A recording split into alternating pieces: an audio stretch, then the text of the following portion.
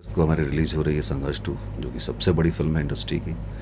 उससे पहले एक और मेरी फ़िल्म आएगी 18 अगस्त को, भारत भाग्य विधाता, जिसमें चिन चिंटू जी हैं। पवन जी के साथ हाल ही मैंने किया था जियो मेरी जान। नमस्कार, मैं किशन कुमार हूँ और आप देख रहे हैं अपना वुड मेरे साथ जो शख्सियत बैठे हैं, आप इन्हें अभिनेता विनीत विशाल जी के नाम से जानते हैं। शानदार फ़िल्में करते हैं और अपने दमदार काम के लिए जाने जाते हैं। मेरे साथ बैठे हैं, खास बातचीत करेंगे। विशाल जी स्वागत है। जी धन्यवाद। आपकी बड़ी फ़िल्मों में इन दिनों सबसे ज़्यादा चर्चा में है संघर्ष टू। क्या कुछ कहेंगे फ़िल्मों के लिए इस फ़िल्म के लिए खासकर कितना उत्साहित हैं? इस फ़िल्म को लेकर मैं ही नहीं। लगभग इंडस्ट्री के बहुत सारे लोग उत्साहित हैं और दर्शक भी काफ़ी उत्साहित हैं। जहाँ तक मैं कभी अपने गाँव जाता हूँ तो दर्शकों से रूबरू होता हूँ। तो दर्शकों से ये सुनने को मिलता है। कि वो मतलब बेचैनी है उनके अंदर कि कब ये फ़िल्म रिलीज़ हो और हम सिनेमा घर तक जाकर देखें। जैसा कि इस समय सिनेमा हॉल का हाल तो खस्ता चल ही रहा है, पहले की अपेक्षा। लेकिन इस फ़िल्म से हम लोग उम्मीद कर रहे हैं कि दर्शक खींचेंगे। सर, फ़िल्मों को देखने के लिए अब दर्शक सिनेमा घरों तक आ रहे हैं, एक अच्छी खबर है। खेसारी जी की फ़िल्म फरिश्ता रिलीज़ हुई थी, अभी पड़ोसन रिलीज़ हुई है, और भी कई सारी फ़िल्में भोजपुरी की हैं, जिनको देखने के लिए दर्शक सिनेमा घरों में जा रहे हैं। एक अच्छा मैसेज है, हम लोग सर्वे करते रहते हैं, हम लोगों ने देखा और जाना कि दर्शक अब जा रहे हैं देखने के लिए। दर्शकों को क्या धन्यवाद दें? इसके लिए बहुत शुक्रगुजार हैं हम लोग कि लॉकडाउन की वजह से एकदम से सिनेमा हॉल की स्थिति ख़राब हो गई हमारे सिनेमा की थोड़ी बहुत स्थिति ख़राब हुई। और अब जब जागरूक हुए हैं फिर से दर्शक जा रहे हैं तो ये हमारे लिए बहुत अच्छी खबर है। हम दर्शकों का शुक्रगुजार हैं इसके लिए। कौन कौन सी फ़िल्में हैं जो आ रही हैं दर्शकों के बीच? फ़िल्में तो हर हफ़्ते आ ही रही हैं लेकिन हमारी आने वाली फ़िल्में अभी 25 अगस्त को हमारी रिलीज़ हो रही है संघर्ष टू जो कि सबसे बड़ी फ़िल्म है इंडस्ट्री की। उससे पहले एक और मेरी फ़िल्म आएगी 18 अगस्त को भारत भाग्य विधाता जिसमें चिन चिंटू जी हैं। वो भी बड़ी फ़िल्म है। तो उसमें भी मैं हूँ। तो ये एक ही हफ़्ते के अंतराल में दो फ़िल्में हमारे रिलीज़ हो रही हैं जो बड़ी फ़िल्में हैं। और किन किन कलाकारों के साथ फ़िल्में आ रही हैं? भोजपुरी में। मैंने ईश्वर के, उससे, आशीर्वाद से भोजपुरी के लगभग सारे आर्टिस्ट के साथ स्टार्स हैं, सबके साथ मैंने काम किया और करता भी रह रहा हूँ और रिपीट भी होता रहा हूँ, लगातार काम उनके साथ करते जैसे खेसारी भाई हुए पवन जी हुए पवन जी के साथ हाल ही मैंने किया था जियो मेरी जान और चिंटू भाई हैं, कल्लू जी हैं, उनके साथ तीन फ़िल्में हमारी, कस्मे वादे, विद्यापीठ और राम अब राम। रितेश रितेश भाई के साथ है तीन चार फ़िल्में।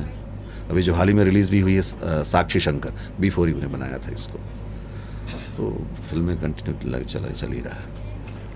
एक कलाकार जो होता है श्रोता भी होता है दर्शक भी होता है एक आम आदमी भी होता है।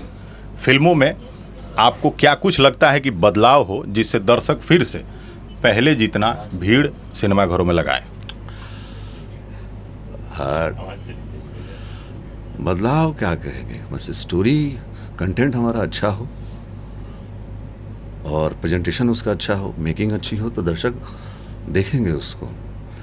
डिपेंड करता है कि आप प्रोडक्ट क्या तैयार करा रहे हैं। अच्छा प्रोडक्ट तैयार होगा, दर्शक देखेंगे।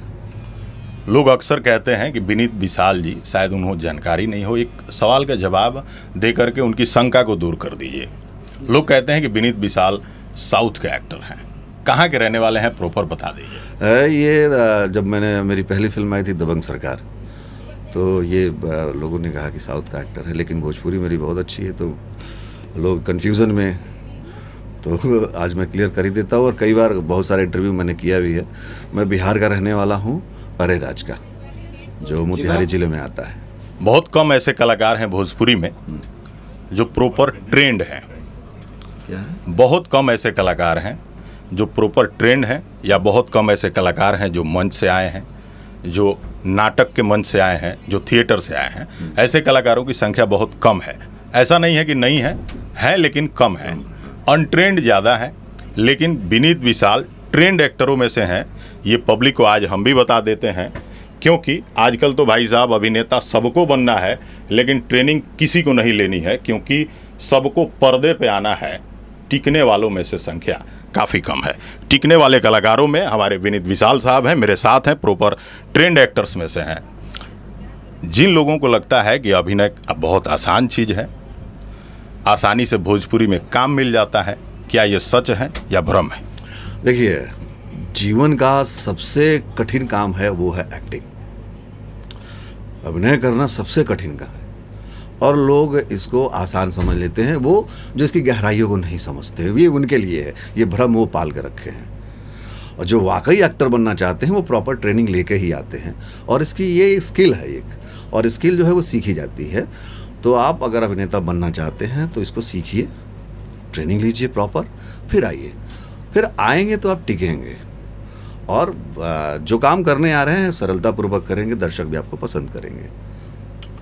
जितने भी लोग इस वीडियो को देख रहे हैं, आपको बताते चले कि विनीत विशाल जी संघर्ष टू जैसी बड़ी फ़िल्म में एक ऐसा किरदार निभाए हैं जिसे लंबे समय तक याद किया जाएगा। याद इसलिए किया जाएगा क्योंकि फ़िल्म बड़ी है, प्रोड्यूसर बड़े हैं, कंपनी बड़ी है और उस फ़िल्म के मुख्य नायक खेसारी लाल यादव हैं। जब खेसारी जी कोई फ़िल्म करते हैं तो वैसे भी फ़िल्म थोड़ी सी अलग और शानदार तो होती है, लेकिन उस फ़िल्म को बड़ी फ़िल्म बनाने में एक बड़ा सहयोग अगर किया है तो विनीत विशाल साहब ने किया है। उस फ़िल्म के मुख्य खलनायक में से हैं और एक ऐसे अभिनय को इन्होंने, एक ऐसे चरित्र को जीवंत किया है जिसे लंबे अरसे तक सिनेमाघर से निकलने वाले दर्शक याद करेंगे। तो विनीत विशाल साहब उन कलाकारों में से हैं। ऐसे कलाकार को ढेर सारा प्यार दीजिए। जे भी लोग देख सुन रहल बा, भोजपुरिया दर्शक ओकरा के अपना भाषा में का कुछ कहब। बहुत बहुत धन्यवाद आप सबन के कि आप लोग हमारी फ़िल्में रूरल देखे नहीं या पसंद करें नहीं।